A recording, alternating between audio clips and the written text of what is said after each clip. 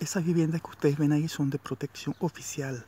Quiere decir que esas viviendas se las dan a personas que tienen sueldos muy bajos para que puedan vivir, claro, evidentemente, ¿no?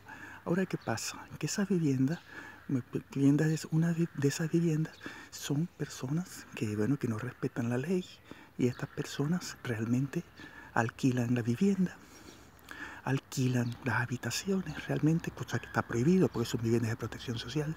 Y la verdad es que que pasan 15 años, personas que entraron con el tiempo de zapatero y siguen haciendo lo mismo. Son personas realmente que no respetan la ley y están aquí en España realmente. No pagan impuestos, se valen de esos alquileres que son muy baratos y alquilan habitaciones, habitaciones a 250, a 200. Y entonces, claro, sí, tiene eh, la habitación varias dependencias, todas las convierten en, habitaciones para alquilar. Y esto realmente tiene que estar, el gobierno tiene que estar al tanto de esto, ¿no? Realmente porque las personas que cobran ayudas emergentes, por ejemplo, ayudas de 400 euros y pagan 250 euros, ¿qué les queda para comer? No les queda nada, ¿verdad?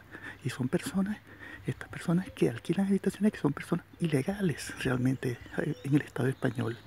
Así muchas tengan el NIF, pues son personas que vienen de fuera, evidentemente, ¿no? Más que todo de Europa del Este, de la Unión Soviética. Esto realmente aquí en España, estos señores hacen bueno, que los seres humanos se coman a los seres humanos porque abusan de, de, de alquilar habitaciones que no, que no tienen por qué alquilar, porque son pisos protegidos. Realmente, bueno, que se los dieron el gobierno por generosidad y para que sobrevivan. Entonces van a explotar a los demás, a los que les alquilan las habitaciones. Bueno, esto se lo dice Carlos Alberto Costa Suárez. Pongan atención, porque muchas personas de estas ni están integradas al país, ni respetan al país, y son realmente personas que van por los otros. No les importa que sea de su misma nacionalidad. Si quieren buscarlo, si quieren personas, buscarlo por Carlos Alberto Costa en todas las redes sociales poniendo mi nombre por separado agregando biografía imparable.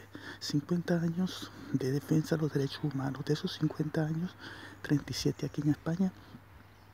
Si quieren verlo en varios idiomas, en inglés, en hebreo, en ruso, en chino, en árabe, o en portugués, o en otros idiomas en el futuro, pongan maracaiboes.org y lo tendrán. Gracias por su atención.